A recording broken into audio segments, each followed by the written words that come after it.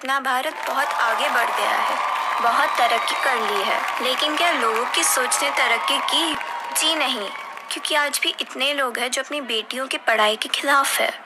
तो मुझे उन सब लोगों से एक सवाल है कि फिर वो अपनी बीवी के लिए लेडी डॉक्टर क्यों ढूंढते हैं? है कोई जवाब? औरत की लंबी ज़ुबान के लिए तो हर कोई शिकायत करता है। फिर कोई गूँगी लड़की से शादी करने के लिए तैयार क्यों नहीं होता? है कोई जवाब उनके पास? आज भी इतने लोग हैं जो 21 साल तक TV, sofa, bed, fridge washing machine नहीं खरीदते। आपको पता है क्यों? मैं बताती हूँ। क्योंकि वो अपने बेटों की शादी का इंतज़ार करते हैं और हम कहते हैं, अपना भारत बहुत आगे बढ़ गया है। एक फेसबुक के सीईओ जकबर्ग ने अपनी बेटी के पैदा होते ही अपनी निन्यानवे प्रतिशत दौलत दान कर दी और यहाँ बाप अपने दहेज का पैसा जोड़ने के लिए तो अपनी गंजी भी पहनना छोड़ देता है। अजीब रिवाज है हमारे मुल्क का।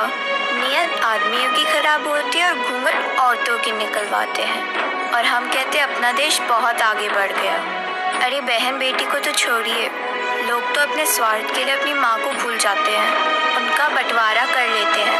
अगर मैं माँ के बलिदानों पर बात करूँ तो रात हो जाएगी। लेकिन दो शब्द ज़रूर कहूँगी उन बेटों के लिए, जिन्हें माँ का मतलब नहीं पता।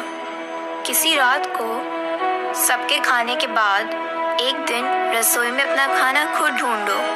माँ क्या होती है समझ जाओगे। माँ तो वो भगवान है जिसे बुखार भी हो जाए और उसके बेटे को पता चले तो पता है क्या कहेगी कि बेटा, खाना बना रही थी ना, इसलिए गर्म हूँ।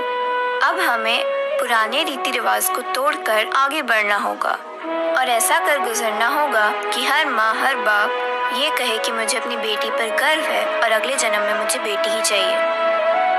And I think women are foolish to think that they are equal to man because they are fast superior than man and have always been